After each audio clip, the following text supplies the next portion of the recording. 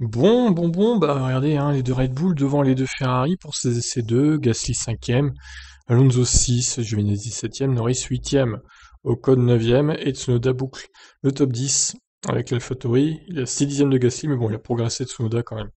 Alors moi, ce qui me fait peur, c'est les Mercedes, 11ème seulement Hamilton à 1 seconde de Perez, 12ème Raikkonen, 13ème Ricciardo, qui se prend encore euh, 3 dixièmes quasiment par Norris, alors qu'il était devant ce matin. Stroll 14 devant Vettel, stressé entre les deux. Bottas à une seconde d'Hamilton. Incroyable. Euh, Bottas 16ème seulement à 2 secondes du leader. 17ème Russell devant Mazepin, qui colle quand même 5 dixièmes à Mick Schumacher. Et Latifi donc, problème moteur, qui a provoqué un drapeau rouge. Voilà donc pour le bilan de cette séance numéro 2. D'essai libre donc au Grand Prix d'Azerbaïdjan Bakou. Allez, à demain 11h pour les essais 3. Ciao ciao. On fera un bilan ce soir des, euh, des, déclarations des pilotes. Évidemment, on a hâte de voir. Hein.